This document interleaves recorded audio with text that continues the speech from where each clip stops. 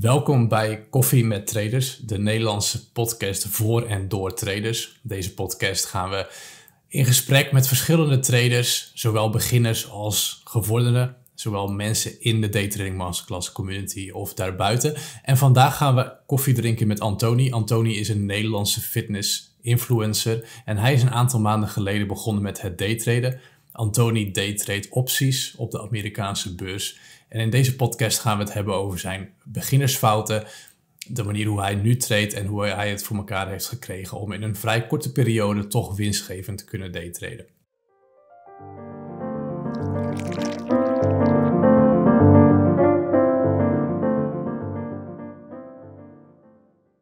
Oké, nou, welkom bij een nieuwe, voor de allereerste aflevering in ieder geval van uh, Koffie met Traders. Ik zit hier met uh, Jordi. Jordi is waarschijnlijk al bekend bij heel veel mensen. En uh, ik zit hier ook met Antoni, onze eerste gast. Welkom, Antoni. Dankjewel. Ja, ik heb, uh, ik heb jou leren kennen in de community, hè? ongeveer een anderhalve maand geleden. Toen uh, kwam jij binnen. Ja, klopt. Ik heb anderhalve maand geleden heb ik de cursus aangeschaft via, via de Daytrading Masterclass. En ja. zo ben ik eigenlijk een beetje binnengekomen. Dus ja, leuk. Oké, okay. hoe, hoe ben je eigenlijk bij traden gekomen? Want als ik zo kijk op je, bijvoorbeeld op Instagram, hè, dan, dan ben je echt in de fitnesswereld actief. Dus fitness, daytrading. Uh, ja, kijk, weet je, ik ben natuurlijk al enorm lang actief op social media. En um, nu zit je al heel veel achter je computer en ben je al heel veel met technologie bezig. Mm-hmm. En nu is natuurlijk corona is in één keer uh, 2020 het land binnengekomen en uh, zit iedereen natuurlijk in één keer heel veel thuis. En ja, dan ga je op zoek naar nieuwe dingen. En ik was vroeger eigenlijk altijd wel heel erg technisch aangelegd, altijd bezig met uh, JavaScript en weet ik veel wat allemaal. Dus ik was weer op zoek naar iets waar ik een soort van, uh, weet je, die, die analytische dingetjes in kwijt kon.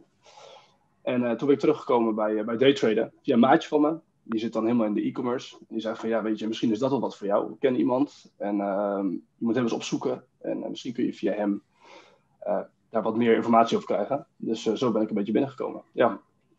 Oké, en nu zo, anderhalf maand of zo bezig? Nou, ik denk dat we nu, ik denk dat we al veel langer bezig zijn. Ik denk dat we al bijna vier maanden geleden zijn gestart met de cursus. Drie, vier maanden geleden alweer. Dus ja. dat is echt heel snel gegaan. Ja. En ik ben nu, uh, wat is het, twee maanden geleden gestart met het traden. En nu sinds een weekje of drie actief bezig met een echt dollar account. Ja. Oké, oké. En als je kijkt naar hoe je vier maanden geleden tegen treden aankijkt, keek, is dat nog steeds hetzelfde beeld? En heel veel mensen komen binnen, of in ieder geval zien treden als van oké, dit is zeg maar de get rich quick. En dit, uh, uh, heb je nog steeds, had je dat beeld überhaupt? Of wat voor beeld had je toen de tijd? En hoe sta je daar nu tegenover? Nou, natuurlijk. Kijk, ik kwam op jouw Instagram terecht en ik zag die auto van jou en ik dacht, ja, dit is het doel. Maar je moet natuurlijk wel realistisch zijn. Um, ik denk dat dat voor mij in het begin inderdaad wel was van get rich quick en uh, daar, de, daar de mogelijkheden in proberen te zoeken. Maar naarmate die cursus te hebben gevolgd, ben ik wel achter gekomen dat dan toch wel hè, eventjes wat meer, wat laagdrempeliger in moeten stellen. En gewoon moeten zeggen van, ja, we gaan het eerst even oppakken. Uh, stapje voor stapje. En het blijft een vak. Dus het gaat, uiteindelijk gaat het toch gewoon heel veel tijd kosten om uh, op een punt te komen waar, waar, de, waar de allergrootste daytraders zijn. Um, maar iedereen begint op die manier. Of je nou, uh, of je nou in de supermarkt werkt of uh, dat je als jurist werkt. Je bouwt jezelf toch vanzelf op door de jaren heen. En uh, dat get rich quick, dat komt hopelijk ooit vanzelf wel. Ja, op zich is wel interessant. Want je zegt, je bent actief in de sportwereld. Hè? Je bent volgens mij fanatiek bezig met fitness. Um, zie jij qua mindset ook overeenkomsten want je zegt net dat het bij ieder beroep is, hè, dat je een bepaalde mindset moet hebben om te starten, bijvoorbeeld met, met daytraden. Uh, zijn er overeenkomsten of denk je dat je er iets aan hebt gehad dat je ook al zo lang bezig was met uh, fitness? Ik denk dat dat zeker overeenkomsten heeft. Ik ben natuurlijk heel erg uh, als, als, sport, als sportcoach ben ik natuurlijk heel veel bezig met mindset training en met de psychologie achter, hè, hoe word je fit. En wat ik heel erg veel voorbij zie komen in ook hè, de daytrading community, is dat veel jongeren willen starten en uh, vervolgens een account opblazen en er dan mee stoppen. En dan denken van ja, dit was het, lukt niet meer, ik ga ermee kappen. En dat is eigenlijk ook waar je mee begint als je de sportwereld instapt. Wat je vaak ziet, hè, die, die opbouw naar uh, bepaalde mentale vaardigheden, dat begint bij jezelf verplichten tot twee, drie, vier keer in de week naar de sportschool gaan en dat vast te houden. En op het moment dat je na een maand geen resultaten ziet, niet gaan zeggen, hey, ik stop ermee Nee, na die maand ook zeggen van, joh, ik ga door. Ik zie het over een maand alweer. Ik zie het over een maand alweer. Ik zie het over een maand alweer. En aan je achter in je hoofd houden van, hey, ik word toch op een gegeven moment word ik wat slimmer. En ik leer er meer van. En door de tijd heen gaat vanzelf die progressie wel komen. En of dat nou binnen een maand is of binnen een jaar, dat is bij iedereen verschillend. Ehm, maar ja, dat is zeker, zeker iets wat heel veel, heel veel met elkaar overeenkomt. Oké, ja. ja. dan moet je ook wel echt die, dat inzicht hebben dat het echt een, een vak is en dat, het, dat je er echt tijd in moet stoppen. Want als ik zeg maar naar mezelf keek hoe ik met, met traden in aanraking kwam, en dat is waarschijnlijk hoe 99% van de mensen ermee in aanraking kwam, is door uh, YouTube-advertenties op, uh, op, uh, op YouTube of op, op Facebook of wat dan ook. En bij mij in ieder geval met penny stocks. Hè. Je begint met penny stocks. Nou, dat, dat schijnt helemaal het rich quick te zijn. En dan kom je daar ook achter dat na een maand of zo, dat het, hey, oké, dit, is best wel, dit is best wel moeilijk eigenlijk. En dan moet je inderdaad wel die mindset, mindset switch gaan maken om hè, van, oké, dit is niet uh, een snel beroep. We moeten hier echt gaan de tijd en energie in gaan stoppen om hier goed in te worden. Dat heeft bij mij wel eventjes, ja, toch wel even tijd gekost om überhaupt die switch te maken. Van, van oké, dit gaat tijd kosten. En want je komt toch op een of andere manier kom je toch binnen dat je denkt van oké, dit, is, dit is snel, snel geld verdienen. Niet snel. Ja, laten we eerlijk zijn. Laten we eerlijk zijn. Ik bedoel, wie heeft er op dit moment geen tijd? Um, Iedereen zit thuis. Niemand heeft eigenlijk wat te doen. Heel veel mensen zijn hun baan kwijt. Uh, en die gedachtegang was voor mij meteen zoiets van, ja weet je, kijk, ik kan hier nu wel blijven zitten en zien waar ik over een jaar sta. Mm -hmm. social media geven ze vaak een levensduur van vijf tot tien jaar. En dan denk je toch van, ja shit, hey, ja. waar ga ik naartoe? En nu is het dus echt een fantastische tijd, want je hebt al de tijd om te zeggen van, joh, ik ga hiermee starten, ik ga hier tijd in stoppen. Of het nou een jaar gaat duren, drie, vier, vijf jaar gaat duren. Maar als ik iets echt wil, dan gaat het gewoon lukken. Ja. Welke weg je ook kiest. Ja. Ja. ja, dat zie je bij ons in de community ook. Een groot verschil, zeg maar, dat mensen komen binnen van, en die hebben gelijk al een plan van, ja, ik, ik, trek hier een half jaar of een jaar vooruit en ik ga hier gewoon echt mijn schouders onder zetten en nog, dan wil ik goed worden in dit vak.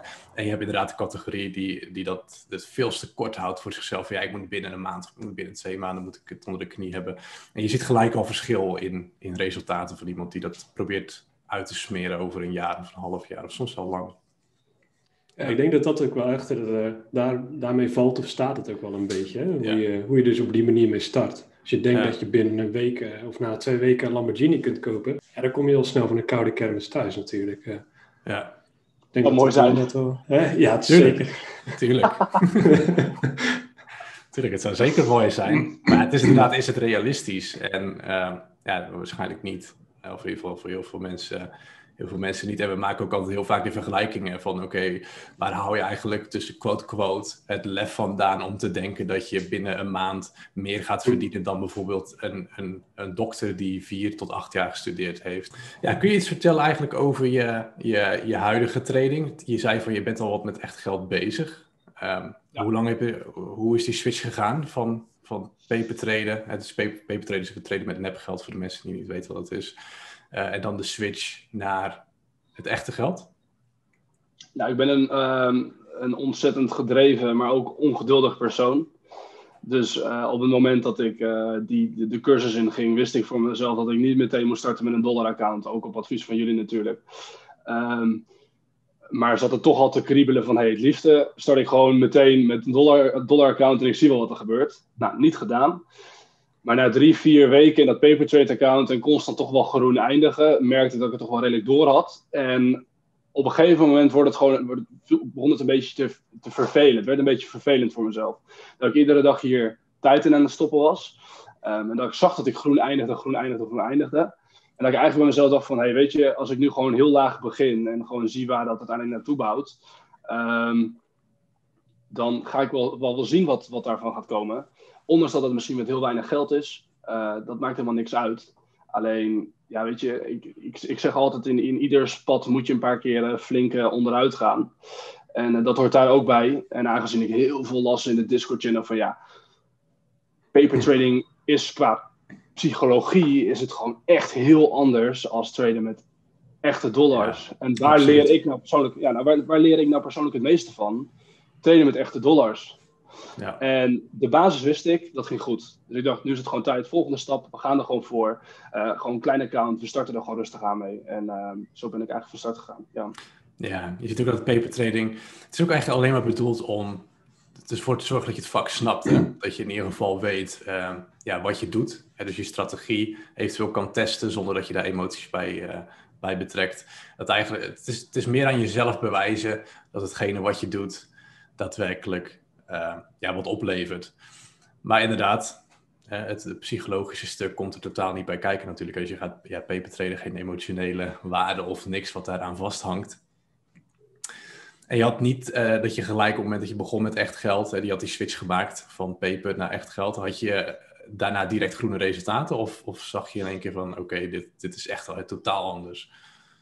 Um, ik ben in de eerste, eerste week ben ik mezelf al tegengekomen. Ja, zeker. Okay. En, wat voor zin? dat was, nou ja, ik, ik, ik heb van mezelf redelijk, een redelijk sterke maag. Dus um, op het moment dat ik, kijk, we, we spreken natuurlijk één, één op twee uh, risk units. Uh, bepaalde losses die je kunt maken. Mm-hmm. Ja, nu, nu, nu ben ik zelf wat losser daarin. Dus op het moment dat ik dan wat dieper zie zakken en wat dieper zie zakken, denk ik van, oh, het komt wel weer terug, het komt wel weer terug, het komt wel weer terug. Met andere woorden, het niet respecteren van een stoplos. Nou, precies. Nou, dat, is, dat, is ook weer, dat is ook weer een leer, dat is ook weer een leertrek. Daar ik van. Ja. En dat is de psychologie. Um, dus daar heb ik zeker, zeker fouten in gemaakt. Um, maar daar heb ik wel meteen kaart van geleerd. En ik ben toen meteen gaan zitten van hey, hoe kan ik dit aanpassen? Hoe kan ik erop letten dat, dat bepaalde dingen me niet meer overkomen die me zijn, of die ik ben tegengekomen in die eerste week. Zoals hè, uh, uh, te veel verliezen, uh, kleine foutjes maken, snel toetsen die ik per ongeluk indruk en dat er in één keer wat gebeurt waar ik niet op zit te letten. Dat ik aandelen koop van verkeerde tickers. Um, dat is, ja, maar, dat, ja, maar, dat, ja, maar dat, is, dat is vervelend. Ja, ja, ja. ja. dat, is, dat is vervelend. En dan denk ik, ja, shit. Um, dus ik heb eigenlijk een soort van mijn hele platform meteen dummy-proof gemaakt na de eerste week. En uh, na de eerste anderhalve week. En, Wat bedoel je daarmee, dummy-proof? Uh, alle sneltoetsen eruit. Um, okay. ik, heb, ik heb alle, alle, alle vakjes wat groter gemaakt, zodat ik heel duidelijk zie van hey, in welk aandeel zit ik, wat ben ik aan het kopen. Um, want ja, op het moment dat je bij wijze van spreken um, een aandeel van Tesla wil kopen, maar je koopt hem van Snowball, dat is toch wel 300 dollar verschil. Ja, en als je dan met, met opties handelt en dan een verkeerde, verkeerde strike price kiest, ja. dan sta je wel in één keer 500 dollar in de min. Nou, dat is wel heel erg jammer. Ja. Dus, um, ja, dus, dus dat soort foutjes, die, die, die voorkomen gewoon nu niet meer. En uh, je zult altijd zien dat het misschien nog een keer terugkomt, maar wel van geleerd, opgepakt. Ja. En uh, sindsdien uh, gaat het lekker, ja. Het is wel leuk om te, te horen. Dat je, je bent wel enorm procesgericht, zeg maar. Want je leert van je fout in de zin van je zegt van oké, okay, die vakjes vergroter maken, et cetera. Ik denk, ja, eerlijk gezegd, dat best wel wat mensen dat ook niet 1, 2, 3 uh, doen. Die denken van oké, okay, het gaat fout. En dan komen we weer met van uh, die mindset van oké, okay, die gaan uh, het hoofd laten hangen en denken, het lukt niet. Ja. Ja, maar ook inderdaad wat jij zegt van je leert enorm van je fouten, maar je leert ook door, door daadwerkelijk te doen. En je, dat, dat viel mij ook op, of dat valt mij trouwens uh, ook op in, in de community, want we werken natuurlijk echt met, met honderden traders. En je hebt echt een, een groep uh, van de traders die, of beginnen traders, die beginnen direct, dat is een beetje zoals jou. Hè? Dus die beginnen, ze kijken de cursus, gaan daarna een accountje openen en gaan direct van start. En je ziet inderdaad, die gaan ook heel snel op hun bek. Hè? Dus je gaat ook echt in je eerste week, ga je gewoon, zoals je zojuist, zojuist zei, van nou, geen stoplosses respecteren en noem alles maar op. Maar dan daar herstel je super snel van, omdat je, ja, je hebt het gelijk een keer meegemaakt. Je weet hoe het voelt. Uh, je weet dat je dat niet nog een keer wil voelen. En, en dat je het gelijk oplost. En je hebt natuurlijk ook een andere groep die, die zegt van ja, ik ga echt gewoon eerst de boeken induiken. En die blijven misschien best wel lang hangen in die, in, in, in die boekenfase, zeg maar. Van oké, we gaan heel lang studeren. En um, dan gaan we aan het einde eens een keer wat proberen in de zin van, van praktijk uitvoeren. En ik zeg altijd tegen iedereen die in de community komt van ja, daytraden is echt een praktijkvak. En probeer het ook op die praktijkvak manier aan te pakken. Dus ik weet niet hoe jullie daar bijvoorbeeld tegenaan kijken, maar ik denk dat het een groot verschil maakt als je iets op die manier aanpakt in plaats van te lang in de boeken blijft uh, zitten. Ik denk dat het um, persoonlijk wel een beetje per, per persoon verschilt natuurlijk. Ik krijg sinds dat ik bezig ben met daytrading en dat online ook post, krijg ik redelijk veel berichten van, uh, van volgers die zeggen van hey, uh, uh, welke broker gebruik je, waar heb je geleerd dat je, hoe je kan daytraden enzovoort. En um, ik probeer ze ook altijd te vertellen, want ze zeggen eigenlijk, ik zeg vaak van hey, de, daytrading masterclass, daar, daar, heb ik het allemaal geleerd. En um, dan zeggen ze nou ja, maar ik ga denk ik eerst zelf even proberen uit te vogelen.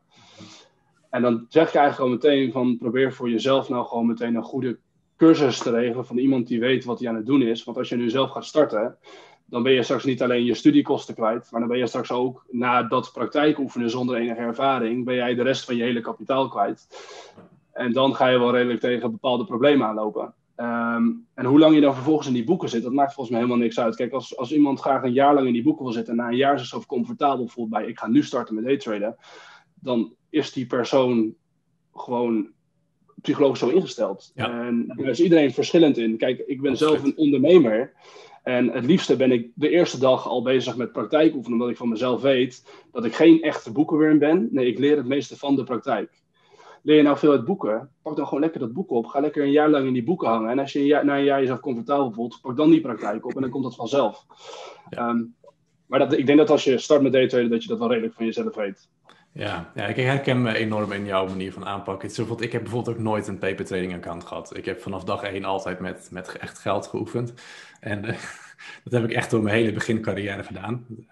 En ja, je bent inderdaad van je. Het ligt heel erg aan per persoon. Van je bent echt zo iemand die, ja, die bijt zich erin vast en die gaat gelijk alles uitproberen wat los en vast zit. Met alle gevolgen van dien, inderdaad ook. Interessant. Ja, ik denk inderdaad, het is wel heel persoonlijk. Uh, uh, het hangt van persoon tot persoon af.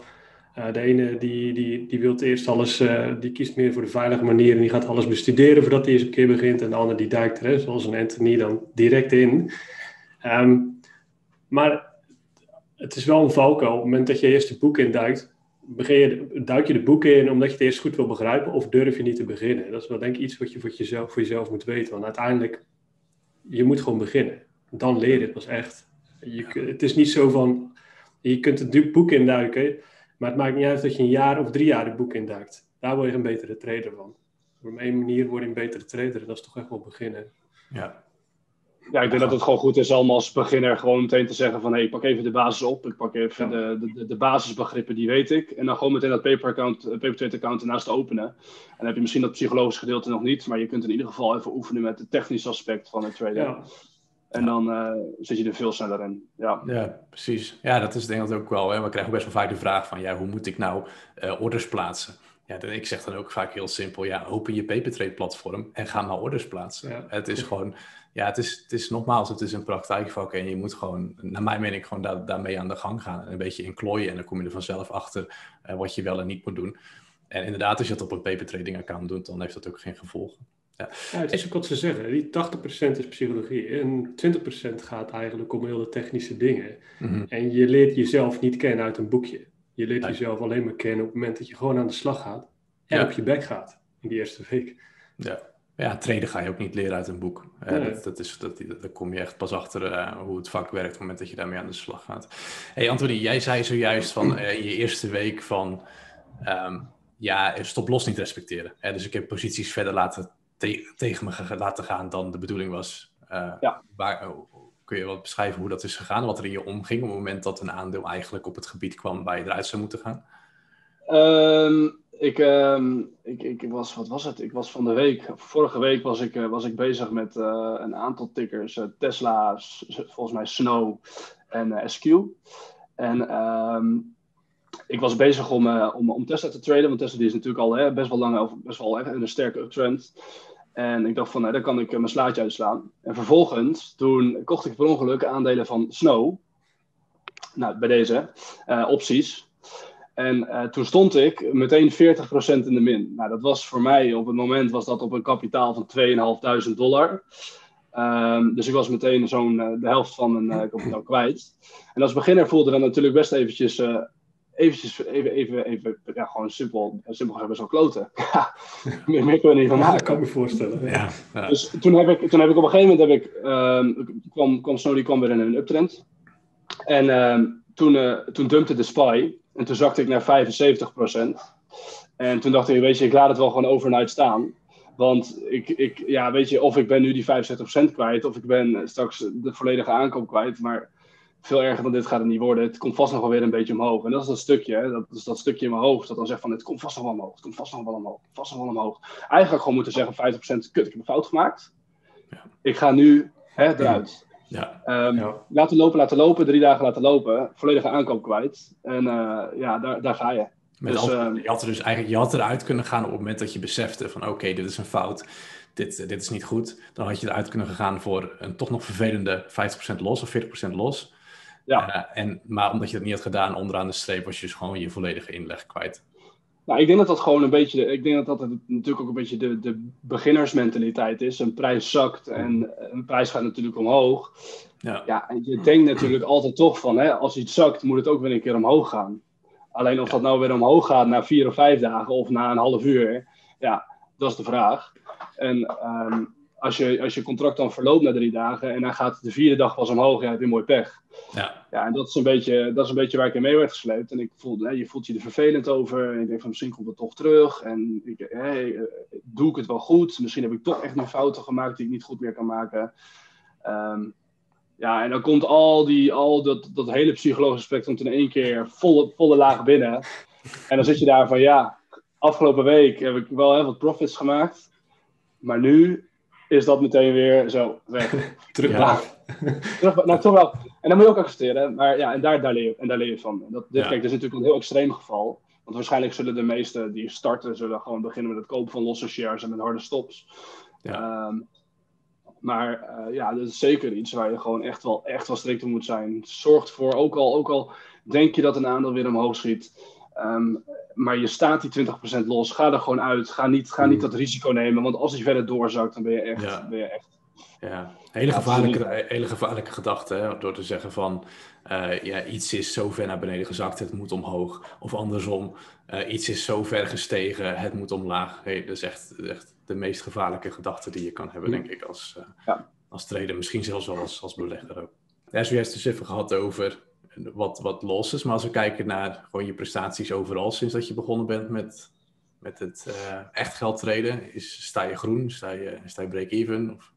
Er staat zeker groen. Ehm, dus dat is, dat is mooi. Ik heb uh, eigenlijk meteen na, na, hè, na de fouten van, van vorige week heb ik tegen mezelf gezegd van hè, misschien ik begon natuurlijk, je begint met bijvoorbeeld een 1000 dollar en dat was, mijn, dat was mijn risico op dat moment. Mhm. Dat kon ik handelen. Maar op het moment dat ik 2000 dollar op mijn account had staan, dacht ik, ik ga nu met 2000 dollar traden. En dan ben je mhm. eigenlijk ben je al die fout aan het maken van dat je hè, je, risico alleen maar aan het verhogen bent, terwijl je er misschien nog helemaal niet klaar voor bent. dus je had gelijk, zeg maar, uh, je hebt wel gelijk begonnen met compounding eigenlijk. Dus je startte gelijk, ja. je, je past compounding toe, rent op rent, om zo maar te zeggen.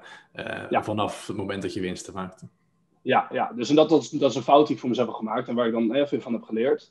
Um, dus ik heb begin van deze week gezegd, weet je wat ik ga doen? Ik, zet, ik haal alles straf. Ik zet, laat 500 dollar staan. Mhm. En op het moment dat ik met 500 dollar trade, kan ik niet meer dan 500 dollar verliezen. Mhm. En uh, dat is voor mij een soort van reset geweest om er even terug te kunnen stappen naar uh, waar ik naartoe ging.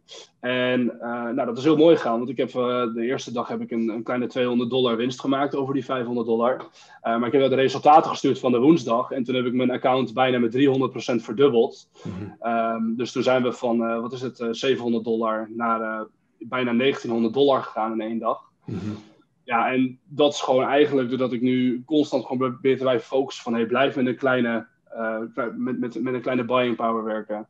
Um, en zorgt ervoor dat het risico niet te hoog is. En op die manier ben je ook gewoon veel prettiger aan het traden. En, en zit je ook gewoon veel lekkerder in het trade. Ben je veel gefocuster. Zit je minder, zit je minder hè, je, op je nagels te bijten van hè, gaat het goed, gaat het fout.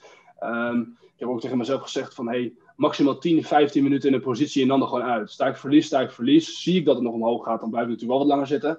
Maar het liefste pak ik gewoon een push mee, eruit, klaar, binnen en stoppen. En daarna dan is het gewoon klaar met die stress. Dus, klinkt, uh, klinkt gedisciplineerd. Ja, ja, maar dat is belangrijk. Dat is belangrijk. Ja, absoluut. Ja. ja, dat is op zich ook wel interessant, want je zegt dus van oké, je hebt dus aan het begin gelijk compounding toegepast. Hè? Dus je, je, je pakt je winst, je had je account verdubbeld, daar heb je gelijk grote treden.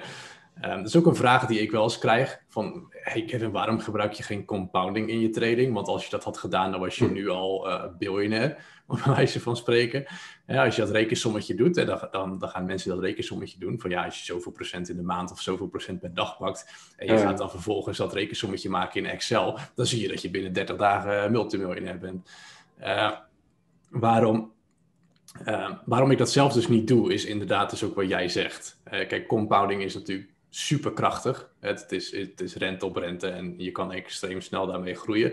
Alleen je, gaat wel extreem uit je comfortzone, zeg maar. Je, je trade steeds groter en groter en groter.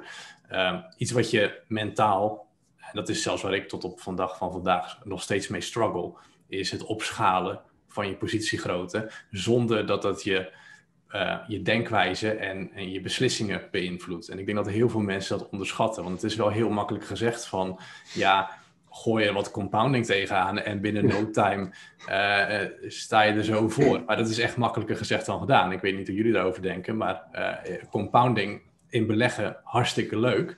Maar in daytraden is dat makkelijker gezegd dan gedaan. Oh, absoluut. Het gaat ook zo snel in daytraden dat, dat je als je met grotere bedragen aan de slag gaat, ja, het heeft gewoon invloed op je beslissingsmodel. Het heeft gewoon invloed. Ze zeggen wel eens, uh, hoe, hoe, meer emoties erbij komen kijken, hoe lager de intelligentie. Ja, dat klopt echt met daytraden. Dat klopt echt. Het is, uh, ja, mijn ervaring ook zeker. Opschalen is een heel erg, heel erg, dat is echt een ding. Ja, ja, ik, dat is, uh, ik heb daar uh, soms zelfs met andere traders over die wat die verder zijn dan mij. En dan, dat, dan vraag ik ook van ja, hoe doe je dat opschalen? En het blijft, het blijft een struggle tussen je in je comfortzone zitten en eruit willen stappen. Tuurlijk, ik wil ook uit mijn, uit mijn comfortzone stappen en, en groeien. Maar ja, als je dan, dan doe je dat een tijdje en dan zie je dat dus heel je beslissingspatroon gaat totaal uit het raam. Ja. En ja, het is toch, het is echt een, een lastig ding, denk ik, uh, het opschalen. Hoe zie jij dat jezelf doen uh, de komende periode, uh, Antonie? Of blijf je gewoon klein treden? Nou, ik heb, ik heb gezien dat ik geen, geen grote bedragen nodig heb om, om grote winsten te pakken. Mm -hmm. vooral met het traden van opties. Mm -hmm. Dus de, eigenlijk de doelstelling die ik voor mezelf nu heb gezet is... ik wilde mezelf optraden naar, naar, de, naar van die 500 naar die 1000 dollar. Um, ik merkte dat ik met 500 dollar net een beetje knel begon te zitten. Dus dat ik net niet lekker mijn ding kon doen. -hmm. um, dus die 1000 dollar daar, waar, waar, ik nu op zit. En eigenlijk is het doel om gewoon in de komende maand van die 1000 dollar te blijven traden. Alle winst die binnenkomt is winst. Um, en dan over een maand was te kijken van hey, hoe heb ik het gedaan? Heb ik uh, veel rode dagen gehad? Heb ik veel groene dagen gehad? Um, hoe kan ik het aan? En dan wil ik eens proberen om te zeggen van hey, ik ga zo'n 1500 dollar proberen. Of een... Maar eerst eens eventjes nu consistentie, uh, vaste inkomen en um, mijn portfolio bouwen. Ja, goed. Ja. En van waar de keuze voor opties? Want we hebben nu al wat, best wat optietermen uh, geroepen. Ik denk dat niet iedereen die luistert is bekend met, met, met optietermen. Maar uh, waarom, waarom kies je voor het traden van opties en waarom zou je niet gewoon met de shares uh, traden? Heb je het gedaan trouwens? Heb je met shares getraind hiervoor? Ja, ja, ja, ja, ja. Ik, heb, uh, ik heb ook geprobeerd met, met, met shares te traden. En mm. uh, ik wilde mezelf dat eigenlijk ook aanleren, want ik denk dat als je met opties trade, dat je ook moet weten hoe je met shares moet traden. Absoluut. Um, uh, soms is het ook gewoon fijn om te zeggen op een, uh, bijvoorbeeld op een vrijdag, om te zeggen van hé, hey, ik trade vandaag even met shares, wat minder risico. Um, uh, gewoon even lekker, lekker rustig aan. Um, maar zoals wij ook hebben besproken, zoals ik eigenlijk in het begin ook al zei, ik heb best wel een sterke maag van mezelf. En met opties is toch wel een bigger risk, maar ook een bigger reward. En voor mij is het toch wel een, een doel om echt wel ja, mijn, mijn, mijn, mijn toekomst op te kunnen bouwen met het, met het, met het daytraden. En ik denk dat uh, opties daarvoor, daardoor voor mij gewoon een hele mooie uh, mogelijkheid is om snel mijn portfolio in het begin uit te breiden en een basiskapitaal op te bouwen. En, um, uh, ja, maar puur omdat ik dat eigenlijk gewoon psychologisch gewoon aan kan. En ik me daar prettig bij voel. Ja. ja het is wel inderdaad, hè. je moet wel een beetje sterke maag hebben, dat blijkt wel. Want als je ja, toch in een zeer korte tijd bent, bezig bent eigenlijk, en nu al met opties treedt, dus... ja. Ja, nou ja, weet je, je leert, je leert door de twee, drie weken leer, je natuurlijk alweer een heleboel bij. Um, um, dus, dus ja, kijk, in, in, mijn eerste week was ik met die, met, die, met die opties bezig. En je kiest natuurlijk een prijs waarvan je denkt van hé, hey, daar, gaan, daar gaan we naartoe. Um, maar door de weken heen ben ik eigenlijk geleerd dat ik mezelf veel prettiger vind om te zeggen van hé, hey, ik koop gewoon een contract op de prijs waar we op dit moment zijn. Dan is het de reward maar iets lager. Maar mijn risico is er ook in één keer een stuk minder. Um, dus door die weken heen leer je dat toch voor jezelf. En eindstand of je nou start met het traden van shares, daar word je op een gegeven moment word je daar beter en beter en beter in. Net zoals dat je voor tegen jezelf zegt, ik wil een bepaalde strategie goed leren, of ik wil een bepaalde setup goed leren lezen. Ik denk dat dat net zo is met opties. Als je start met opties en je doet dat voor twee, drie, vier maanden, dan zul je ook aan jezelf zien van, hé, hey, ik word daar gewoon veel beter in. Um, ja, dus het is gewoon net waar, waar je graag mee wil starten. Ja. Ja. Ja, het heeft zijn voor- en zijn nadelen. Ik denk inderdaad met opties, kijk, de reward is natuurlijk super aantrekkelijk. Um, maar goed, het, zeker voor intraday traden, de risk is zeker daar. Dus als je, wat, als je wat opties koopt met een wijde spread bijvoorbeeld, dat je inderdaad gelijk 30, 40 procent... Uh, in, in, de min staat. Dus uh, dat, dat gebeurt je een paar keer en dan doe je dat ook niet meer. Maar, vooral als je uh, verkeerde ticker invult. Vooral als je verkeerde ticker invult. Dus ja, het is voor is het nadeel. Ik ben het ook wel, wel met je eens dat het wel beter is dat je eerst uh, in ieder geval snapt hoe je shares moet treden. Ik denk dat is ook iets wat wij in de masterclass ook altijd wel roepen van en zorg er eerst voor dat je weet hoe je gewoon normaal shares moet treden. want een stukje stop-loss, stop-losses werken net even wat anders met opties inderdaad. Dus uh, oké, interessant. En als je kijkt nu naar van wat is een beetje jouw routine uh, als je uh, de dag begint, wat is jouw routine zeg maar voor, voor het traden of wellicht daarvoor? Um, nou, ik heb eigenlijk mijn vaste groepje aandelen wat ik constant voor mezelf in de gaten hou. Um, dus ik ben eigenlijk vanaf ochtends vroeg tot avonds laat ik mijn meldingen aanstaan met hè, er, komt wat nieuws binnen op Tesla, er komt wat nieuws binnen op Plug, of er komt wat nieuws binnen op bla bla bla. Um, dus dat is eigenlijk iets wat ik gewoon de hele dag door in de gaten hou. En vervolgens, zoals velen, denk ik dat ik gewoon rond een uur of twee, half drie mijn computer opstart. Um, mijn analyse ga doen, mijn, mijn, mijn, support en resistance ga tekenen. Ga kijken of er al hè, bepaalde pre-market setups zijn ontstaan waar ik gebruik van kan maken. Um, of er interessante wedges aan het vormen zijn net, net voordat de markt opent. Uh, waar ik dan een beetje op kan inspelen. Omdat ik natuurlijk, hè, wat, jullie ook misschien wel vaak voorbij zien komen, dat ik heel graag de markt open meteen trade. Um, ik merk voor mezelf dat ik eigenlijk altijd groen eindig in de markt open. Dus um, ja, daar focus ik me gewoon voornamelijk heel erg op. En als dat allemaal al klaar staat, is het een keer een kwart over drie. Pak even lekker uh, mijn koffietje. En dan uh, gaan we om half uur gaan aan de bak. Ja. ja.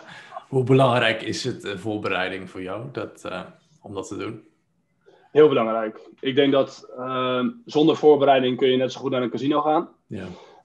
Um, het is rood of zwart. Ik bedoel, een, een, een chart gaat omhoog of omlaag. Dus uh, fingers crossed, ik ga omhoog, maar hij zakt toch omlaag. Ik ben mijn, uh, ben mijn, mijn inzet kwijt. Nee, ik denk dat het, dat het voorbereiden en kijken naar hè, de, de, de gaps, het volume, de float, alles gewoon heel erg belangrijk is. Kijken naar welke aandelen interessant zijn op een dag. Uh, wil je groen eindigen? Ja. ja, dat denk ik ook. Het is, uh, de voorbereiding is key. Dat, dat, is ook iets wat ik altijd roep. Ja, anders is het inderdaad, ja, dan is het echt letterlijk 50-50. En misschien is 50-50 genoeg om, om winst te maken met een juiste risk-reward. Maar ja, je wilt wel een stuk van voorbereiding doen. Ik denk dat dat, dat echt key is. Als ik naar mezelf ik denk inderdaad uh, met ja. gokken dat 50-50 uh, niet haalbaar is. Nee. nee. Nee, kijk, je wilt wel iets van voorbereiding doen. En jij zegt ook van je treedt voornamelijk hetzelfde groepje aandelen. Dat is, dat is iets wat ik zelf ook doe. Dat is voornamelijk ja. uh, uh, gewoon dag in dag uit dezelfde aandelen in de gaten houden. Ik merk voornamelijk als je dat doet, dat je... Het, het, is, het is een illusie om te denken dat je kan voorspellen wat het aandeel doet. Maar je leert wel een beetje de karaktereigenschappen, zeg maar, van, van, van het aandeel. Wat wel enorm kan helpen, denk ik, in je trading. Ja, zeker. Ja, mee eens. Ja. En voornamelijk, jij treedt voornamelijk Tesla. Want ik heb je de afgelopen dagen volgens mij alleen maar Tesla zien treden. Is daar een reden voor? Het op ja, de bijnaam Tesla, hè? Anthony uh, Tesla, de Tesla trader. Ja. ja, ja. Oh, dat is de bijnaam wel, ja. Als je wel weet van Tesla, dan moet je bij mij zijn. Nee, okay, ik had natuurlijk in mijn, in mijn, eerste week en in mijn eerste twee weken was ik natuurlijk wel best wel met een hoge, met een hoge equity gestart. Um, dus als je dan een, eh, een, contract voorbij ziet komen van 2500 dollar en je denkt van ja, dat kan, dan, ging ik daar gewoon voor. En ik, ik, ik, volg ook, hè, online volg ik heel veel en ik zag, zag dat Tesla gewoon constant echt wel een hele sterke uptrend was. Dus ik heb gewoon echt anderhalve week gewoon echt succes gehad op die trades. Ja. Um, en dan leer je hem kennen en je weet wat er gebeurt. En je weet, het gaat op een gegeven moment zien van, joh, hey, het kan niet alleen maar omhoog blijven gaan. Er gaat ook op een gegeven moment gaat er een dip komen. Um, en op die manier leer je je aandeel kennen. En weet je ook van dag op dag van hey, dit kan ik gaan verwachten.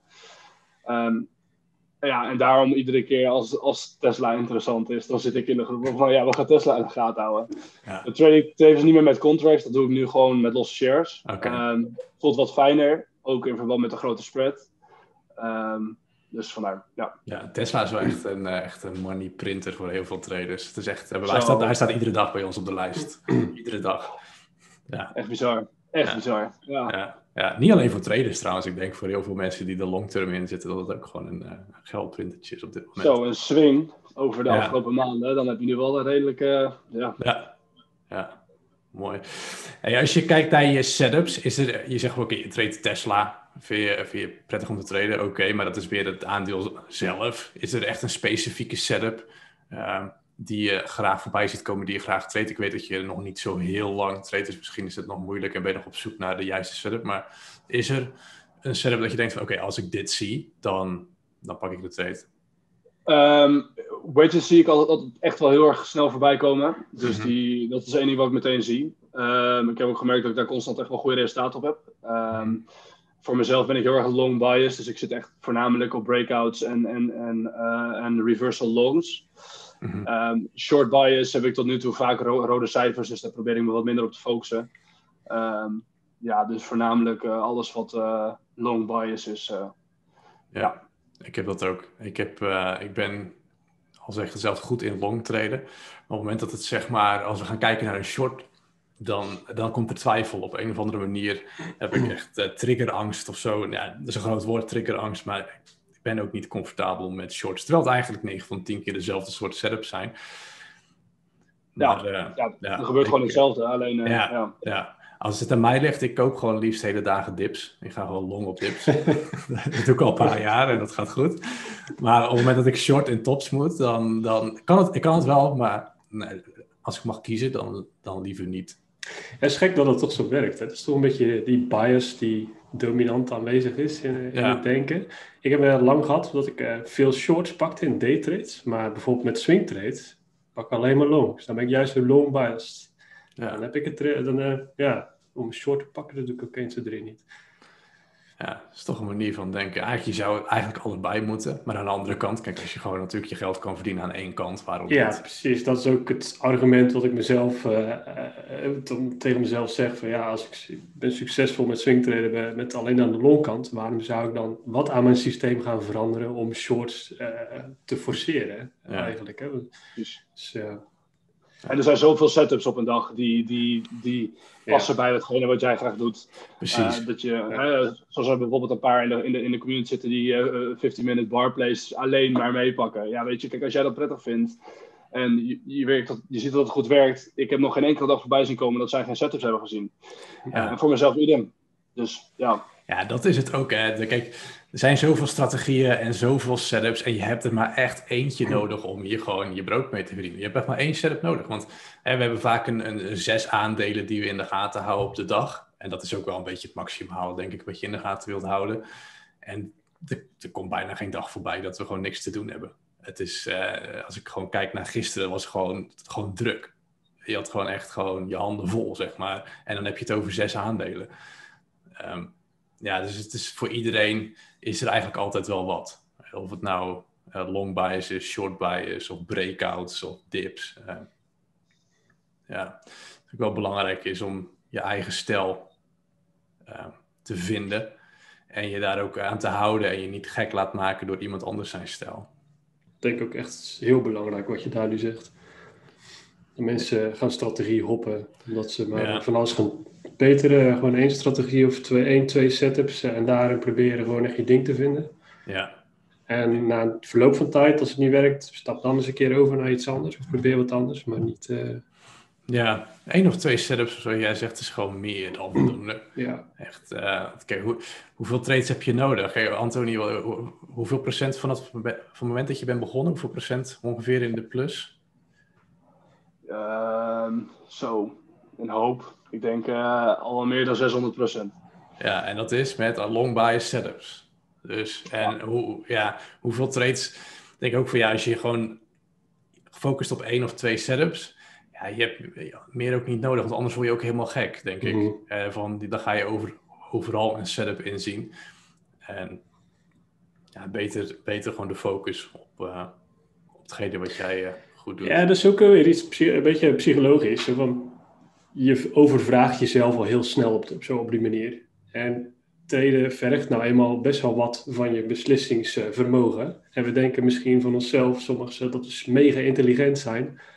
Maar uh, het is heel makkelijk om te veel van jezelf te vragen en dan ga je gewoon de mist in. Kunt beter focussen inderdaad. 1, 2 strategie, houd zo simpel mogelijk. Ja, inderdaad. En dan treedt die strategie ook goed. En inderdaad, wat jij zegt, dat, dat strategie hoppen. Dat is ook echt... Uh, ja, dat is funest. dat is funest voor uh, heel veel traders.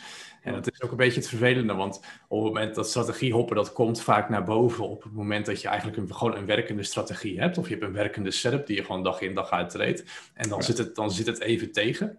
Oh ja. En dan, is het, dan, dan komt het. Want dan, zie je, dan zie je iemand anders in een community of op, op, weet ik veel, op Instagram. Die gaat helemaal los. En dan denk je, oh, het is mijn strategie. Misschien moet ik zijn strategie maar gaan doen. En daar gaat het fout. Dan heb je op een gegeven moment, oké, dan, dan heb je daar wat succes mee. Uh, en ook, ook die strategie, die, die gaat uh, een aantal keer de mist in. Ja, er is niet één strategie die 100% werkt. Nee. Dat vergeten mensen denk ik ook wel. Ja, echt dat constant op zoek zeg maar, naar de holy grail. Hè? Dus op zoek ja. naar... Uh, een strate strategie die, die nooit geen verliezen geeft. Iedere dag alleen maar chasen wat een ander aan het doen is. En ja. Uh, dan ja. hopen we dat. Ja, ja, ja, maar, ja, we lachen erom. Maar het is echt, het is wel een, het is echt een serieus probleem onder veel beginner traders. Echt altijd het succes van iemand anders proberen achterna te jagen. Terwijl het letterlijk, het succes ligt gewoon letterlijk voor hun neus. Ja. Uh, het is één setup die je moet kunnen. Gewoon één setup. En uh, ja, je kunt het zo moeilijk maken als je zelf wilt, maar dit is helemaal niet nodig. Wat zou jij als je. Je bent, je bent eigenlijk nog een beginner trader, laten we, laten we eerlijk zijn. Je bent nog niet zo heel lang bezig. Maar wat, wat zou je iemand mee willen geven die, die nog een beetje aan twijfel is? Die heeft wat gelezen over het daytraden. Wat zou je iemand meegeven die wil, wellicht wil starten? Um, lees jezelf heel goed in. Uh, het is niet, het, ik, zoals we ook in het begin besproken, het is niet, niet get rich quick. Het is, uh, je moet je echt, je moet er echt, echt tijd in stoppen, wil je daytrader goed op kunnen pakken. Je moet het blijven oefenen. Um, zorg er ook voor dat op het moment dat je begint, dat je dit, en, en je weet van jezelf, hey, ik ben door mijn basisfase heen, ik ga nu starten met echt geld, dat je met geld doet wat je durft te verliezen. Dus dat je niet alles inzet, uh, straks verliest en jezelf eigenlijk een soort van depressie inwerkt. Omdat je uh, gewoon uh, je huur niet meer kunt betalen, je boodschappen niet meer doen, kunt doen enzovoort. Want dat, dat zul je toch vaak zien. Veel, veel mensen die starten met traden.